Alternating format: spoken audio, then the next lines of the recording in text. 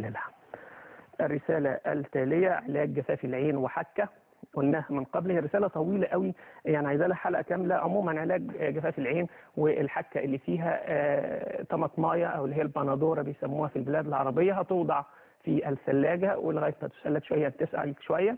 هنقسمها نصفين ونضع نصف آه، الثمرة على كل عين لمدة نصف ساعة يوميا بتضيع لي الحكة وبتضيع لي أيضا التهاب العين اللي موجود.